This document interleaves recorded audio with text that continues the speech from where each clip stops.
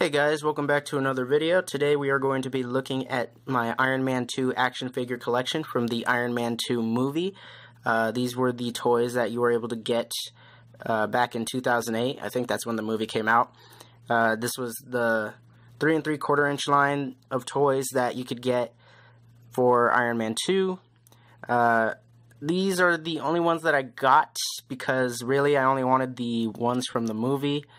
Um, I unfortunately was unable to pick up the Mark 1 and the Mark 2, so instead I picked up War Machine and the comic book version of the Mark 1 suit of armor because um, I could not find the Mark 1 movie figures or the Mark II movie figures anywhere in stores. So, since the Mark II essentially became the War Machine, I bought the War Machine and just treated that as the Mark II, and the Mark 1 I just kind of bought since you know it was the closest thing I could find to a Mark One figure, and um, you know I really like the uh, comic book version of the Mark One suit, so that's why I got that. But yeah, we're going to be looking at these figures individually and seeing how cool they are. So we're going to start off with the Mark 1 and work our way all the way to the Mark 6. So here we go. Alright, so here we have the comic book version of the Mark 1 suit of armor here in figure form. And as you can see, it's got really nice looking details. Uh, it really does look like the comic book version of the Mark 1 armor. So here's the Mark 1 in all of its glory. As you can see, it's got a nice blue for the arc reactor. And then it's kind of got like this scratched up, sort of rusted out uh, metal look, metal paint job. Looks really nice and comic book accurate. Really cool for articulation, these three and three quarter inch figures were actually really articulated. So you could like turn the head 360, turn the arms 360, go in and out, bends at the elbow. Uh, you could move the wrist. Then there was also sort of like an ab crunch up here, and then there was like uh, ball jointed hips, I think. So you could go forward and back and side to side. Uh, you could also twist at the hip, bend at the knees, and you could also, you know, swivel at the ankle here. Go forward and back as well. So yeah, uh, this figure actually came with a little fire accessory to make it look like he was uh, sort of shooting fire like a flamethrower.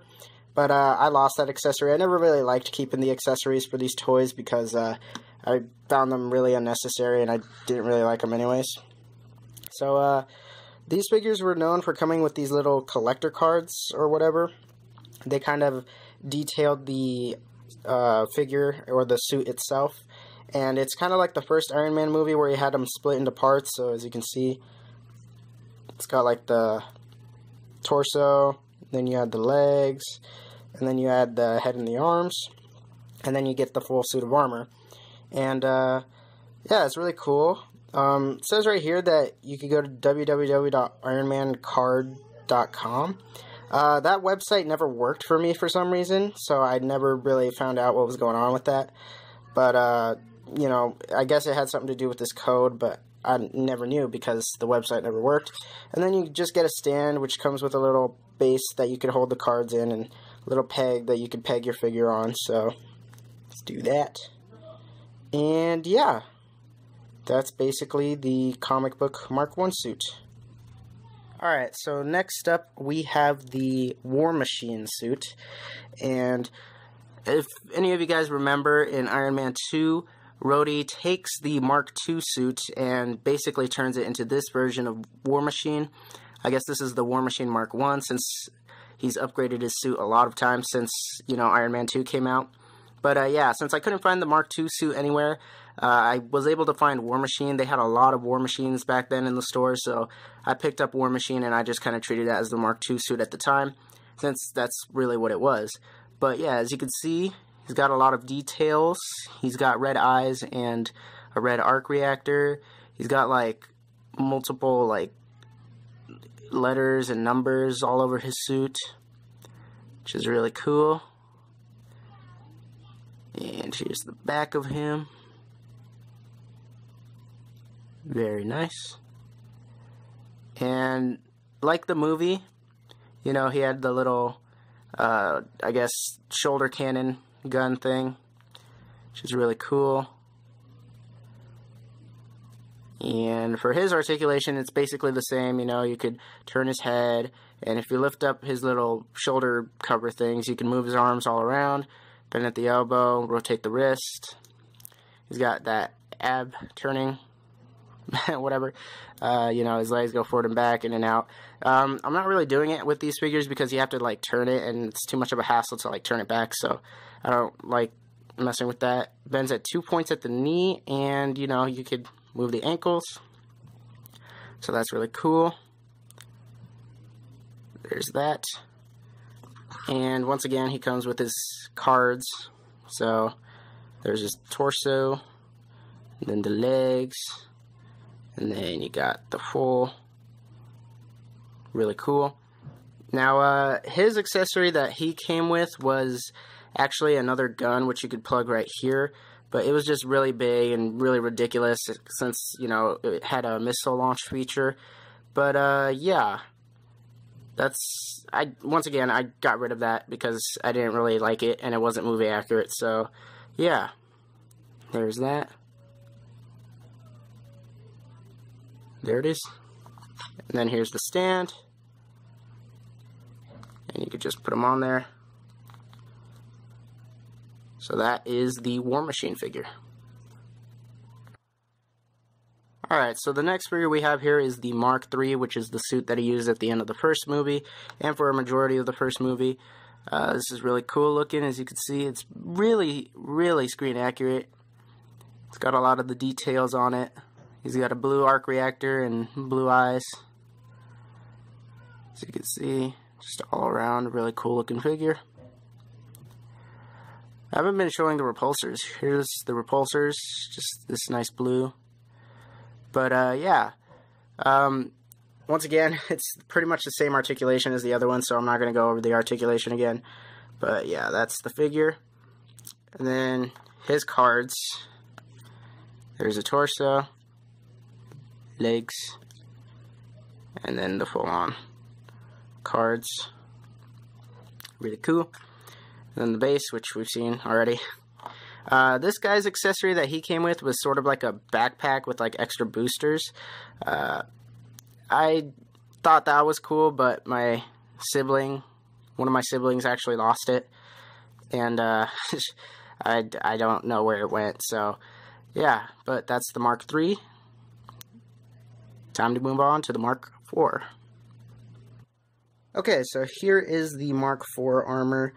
Um, oop, sorry, his stand is really loose. Let me see if I can't find those cards that just fell. And they fell even deeper. Hang on. So here is one of the first um, movie 2 suits that he used in Iron Man 2. This is the Mark IV. And once again, you can see that he's got pretty much the same details as the Mark III, almost. So you can see he's got blue in his arc reactor, once again, even on his hand. Really cool looking.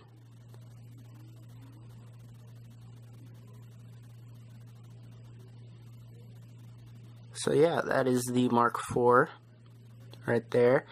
And then his cards, which I had to pick up off the floor. There's the torso, legs. And then his accessory that he came with was actually this blaster right here, which shot a missile.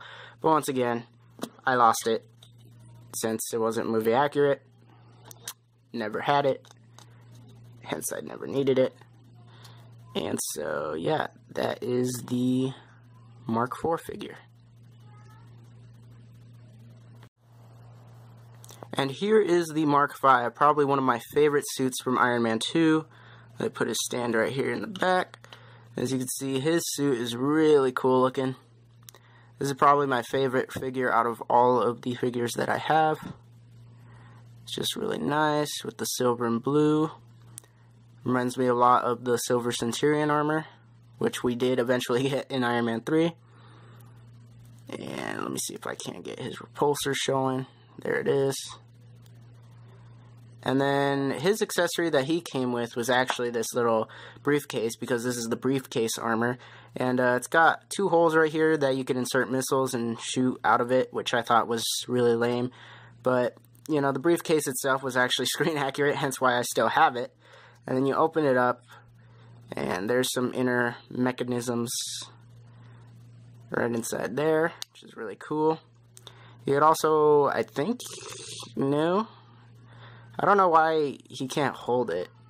They should have molded the hands differently so he could hold it, but yeah, that's the Mark V. And then here are the cards, the little blueprint cards. Let me get that straighter. There we go. And then there it is. Just awesome. And once again, just the base that he comes with. But yeah. Same articulation as all the other figures. Doesn't want to get in the stand. And yeah, that is the Mark V.